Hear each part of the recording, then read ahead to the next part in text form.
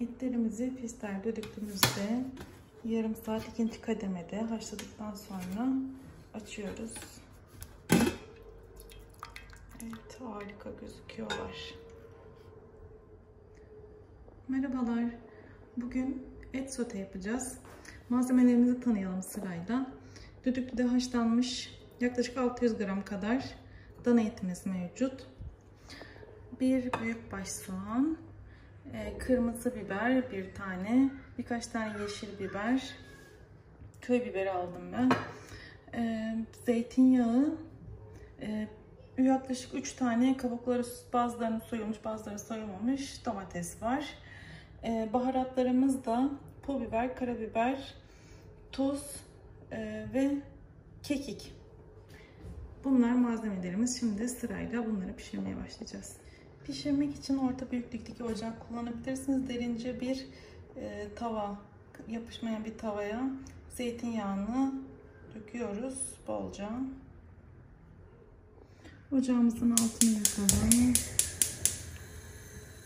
Yağımız kızmaya başladı. İçerisine soğanlarımızı ekledik.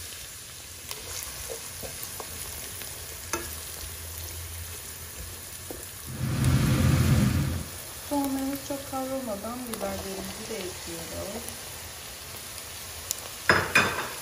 Karıştırmaya devam. Soğanlarımız ve biberlerimiz iyice olduktan sonra etimizi ekliyoruz.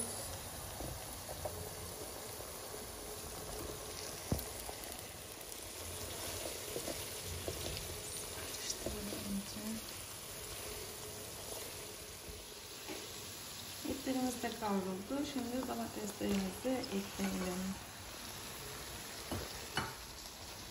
Aynı zamanda baharatlarımızı da artık ekleme vakti geldi. Evet domatesimiz de suyunu çekti. Yemeğimizin son hali bu şekilde. Yemeğimizi servis tabağımıza alalım.